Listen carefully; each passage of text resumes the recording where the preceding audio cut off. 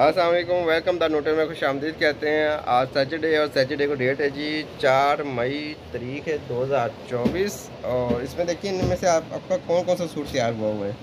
बहुत सारे सूट तैयार हो गए हुए हैं अलहमदिल्ला ये है ब्लैक है महरून है, उसके बाद ये दुबट्टा भी है जी, उस पर काम हुआ हुआ है। दैन फिर ये कौन सा ब्रांड का? ये सना सिफनाज के ब्रांड के सूट हैं जनाब, इसके आर्टिकल देखें, इस पर डिज़ाइनिंग चेक करें और इसके दामन पे कट चेक करें। ठीक है? और बैक की लेस चेक करें। कितने नाइस तरीके से हमने लगाया हुआ है। हर चीज़ आपसे शेयर करते हैं। गला गला देना है, गला भी दिखा देते हैं। लो जी गला देखो इस गले की लुक चेक कर लो। कितने नाइस तरीके से तैयार किया। बटन देखिए मल्टी कलर में सेम ही फैब्रिक के तैयार करवा के लगाए हुए हैं जनाब। उसके बाद चलते हैं इसके दुपट्टों की तरफ़। और दुपट्टे जो है, देखिए पैपिंग की हुई है। और नीचे वाले दुपट्टा भी सना से फनाज का है। और उसको फिनिशिंग के साथ जो है वो लेस लगाई हुई है। ताकि एक ही फैमिली के कस्टमर के सूट है। और इनको पता होना चाहिए काम किस तरह होता है। लेकिन पे करना भी चाहिए उनको। हर चीज़, ये नहीं होती कि नहीं हम इतनी सिलाई नहीं देंगे और कम पैसों में अच्छा सूट तैयार करें, इस तरह कभी भी नहीं होता। हर चीज़ की एक प्राइस होती है, उसको वो पे करनी पड़ती है। क्योंकि लेसिस है, उसकी अपने रेट है, लेसिस को फिनिशिंग के साथ लगाना, उसका अपना रेट है। जो फिनिशिंग का कपड़ा लगता है, उसका अपना रेट है और जो जो वर्कर स्टिच करता है, उसका अपना रेट है। और वर्कर को स्टिच करने के बाद जब तैयार होता है तो उसका जो टोटल कॉस्ट पड़ती है, वो काफ़ी कॉस्टली पड़ती है, ठीक है? यही चीज़ें होती हैं जो हम आपसे शेयर करते हैं और आपको दिखाते रहते हैं कि काम किस तरह किया जाता है कैसे होता है ठीक है? और इसके बाद देखें ये वाला सूट है उसके बाद चेक करवाते हैं आपको ये वाला भी सूट आपने इंस्टा पे देखा हुआ है। उसके बाद चेक करवाते हैं ये भी सूट आपने इंस्टा पे देखा हुआ है ठीक है? हर सूट पे फिनिशिंग की हुई है उसके बाद अभी ये, ये भी कलियों वाला सूट देखा हुआ है। देन ये भी सूट आपने देखा हुआ है ठीक है? अब आपको दिखाते हैं वो सूट जो हम पैक कर रहे हैं और जो भिजवाना है हमने ऑस्ट्रेलिया के अंदर सूट भिजवाना है और इसको आपको दिखाते हैं कि आज इसके अंदर क्या क्या चीज़ें तैयार कर ली हुई हैं।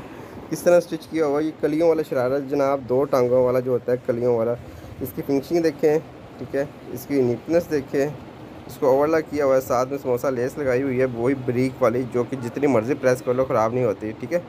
ये चीज़ें जो हैं, हम आपसे शेयर कर रहे हैं बार बार दिखाते रहते हैं इंस्टा पे भी दिखाते हैं यूट्यूब पे भी दिखाते हैं नोट बतीक स्टिचिंग और अगर इंस्टा की बात करें तो द नो टेलर आपको, और अगर फेसबुक पे भी जाना चाहें तो आप फेसबुक पे भी जाके भी चेक कर सकते हैं। ये देखिए, इस तरह जो है, हमने नीट तरीके से इसको तैयार किया हुआ है। और सामने जो है, वो बेल्ट है, ठीक है? और चेक करें। इसके अलावा जो है इसका अर्ज़ बहुत बड़ा गहरा दिया हुआ है, लेकिन इस टाइम जो है, हमने तैयार कर दिया हुआ है, इसको प्रेस कर दिया हुआ है। बात करते हैं इसकी शर्ट की तो शर्ट की फिनिशिंग चेक करें, इसकी लुक इसकी नीटनेस और इसकी फिनिशिंग वगैरह आपके सामने है जनाब। और शमीज़ लगाई हुई है, नीचे सीरीलेस फील की हुई है, ज़ोर देखें। इसमें किसी तरह की कोई सलवटें नहीं आ रही, साथ में हेमिंग की शिफून देखें, कितने नीट तरीके से बैठी हुई है कपड़ा।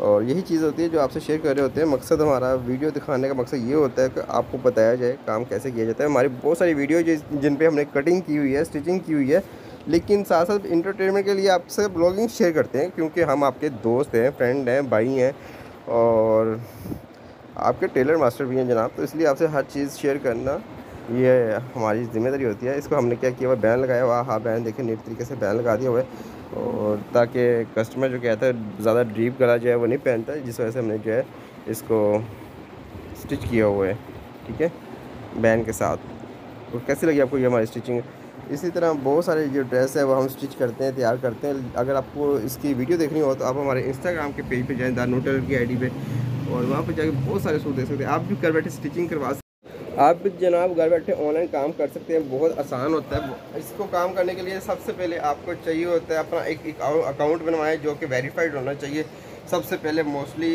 लेकिन हम जो है अपने अकाउंट के वेरीफाइड के लिए तीन हज़ार पा, जो पाकिस्तानी रुपीज़ हैं वो पाकिस्तानी रुपीज़ तीन हज़ार हम हर मंथली जो है इंस्टाग्राम फेसबुक गूगल को पे करते हैं, खुद पे करते हैं, ठीक है? क्योंकि आपके लिए हमने वेरीफाइड करवाया, वरना हमें ज़रूरत नहीं थी वेरीफाइड करवाने की, क्योंकि लोग हम पे जो एक दफ़ा काम कराते हैं वो ट्रस्ट करते हैं कि हम ना तो इनके पैसे के साथ कोई हेरा फेरी ना किसी तरह का कोई एक्स्ट्रा मार्जिन लेते हैं, जब कपड़ा लाते हैं जाते हैं देने में, लेने में। तो इस तरह ये होता है कि कस्टमर जो होता है, घर बैठे सुकून से अपना कपड़ा बाई करता है और आराम से स्टिच करवा के अपनी ही कंट्री में मंगवा भी लेता है। ना उसको बाहर आना जाना पड़ता है, ना टाइम उसका वेस्ट होता है। सारा टाइम हम अपना खुद लगाते हैं आपके लिए, ताकि आप घर बैठे जो है हमसे फ़ायदा उठा सकें। इसलिए कि आप हमारे कस्टमर हैं और मैंने शुरू से लेके अभी तक जो है ना एक काम सीखा हुआ कि अपने कस्टमर का जो है ना फ़ायदा करें और जब आपका कस्टमर हैप्पी होगा ना तो फिर सारे काम आपके गुड होंगे, ठीक है? यही चीज़ें होती हैं कि आपको भी चाहिए कि ऑनलाइन काम स्टार्ट करें। आजकल हर बंदा चाहता है कि हम ऑनलाइन काम घर बैठे करें और घर बैठे ही हमारे हर चीज़ मिल जाए हमें, ठीक है?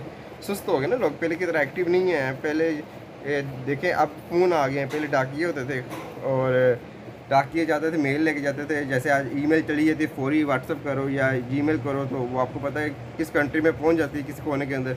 तो पहले जो मनीग्राम के ज़रिए जाते थे चीज़ें, या पार्सल के लिए, या पोस्ट के ज़रिए जाती थी चीज़ें तो वो कितना टाइम लगता था? अब बहुत आसान हो गया। जितना ज़्यादा आसानियाँ आई, उतनी ज़्यादा मुश्किलें भी आ गई हैं, ठीक है? अगर कोई चीज़ एक फ़ायदा देती है ना, उसके दो नुकसान भी होते हैं, ठीक है? उसके, अब एक बाइक है। बाइक रोड के अंदर तो बहुत तेज़ी से चल भी जाती है। बाइक में क्या होता है कि बाइक, देखे ना, टू व्हील्स होते हैं उसके अंदर। गाड़ी के अंदर चार व्हील्स होते हैं, ठीक है? यानी कि चार व्हील्स सेव होते हैं। टू व्हील्स होते हैं, दो दो टायरों वाली जो बाइक है, वो आप देखते हैं कि रोड पे हल्की सी मामूली सी टच हुई नहीं तो गाड़ी गिरी नहीं, ठीक है? यही चीज़ें होती हैं कि अगर बाइक का फ़ायदा है ना, उसका फ्यूल कम लगता है, बंदा सफ़र जल्दी कर लेता है तो ये ट्रैफ़िक में जो गाड़ियों की लाइनें लगी होती हैं उससे बच जाता है। और एक फ्रेश हवा और उसके अंदर सुकून से इंजॉय करते हुए बंदा ताज़ा हवा के साथ अपना सफ़र जो है मुकम्मल करता है। लेकिन जो गाड़ी होती है, गाड़ी के अंदर भी उसके फ़ायदे बहुत हैं। उसमें आप देख लें चार चार जी बैठ सकते हैं। उसके बाद आप, गाड़ी में एसी भी लगा होता है, ये भी फ़ायदा है। एक आपके कपड़े डस्ट वगैरह बच जाते लगने से। उसके बाद क्या होता है जनाब, उसके बाद ये होता है कि आपकी गाड़ी का जो फ्यूल है, वो गरीब बंदा पे ही नहीं कर सकता। ठीक है? अब जो बाइक चलाने वाला बंदा है, जिसने बाइक पे भी दो लीटर तीन लीटर पेट्रोल डलवाना होता है तो वो गाड़ी ने तो एक ही चक्कर में तीन लीटर खा जाना होता है, ठीक है?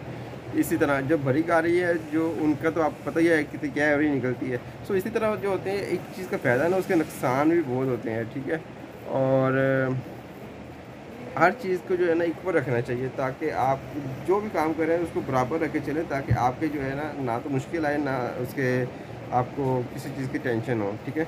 इसी तरह आप ऑनलाइन काम करें, गैर फ़ायदा दें, मुश्किलें होती हैं थोड़ी सी अब देखें ना पे कर रहा मुश्किल है ना। पाकिस्तानी बंदा, एक गरीब बंदा टैक्स भी जमा करवा रहा है अपने शॉप का मार्केट का सोसाइटी का, बिजली के टैक्स दे रहा है। उसके बावजूद वो ये एक्स्ट्रा खर्चा कौन सा उठा रहा है? गूगल का फेसबुक का टैक्स उठा रहा है। इसलिए उठा रहा है जो वो आप लोग के लिए उठा रहा है। क्योंकि ताकि मेरे जो कस्टमर हैं, वो कुछ इनको अतमाद हो सके, ये भागने वाले बंदे नहीं हैं, या फिर जो भी काम है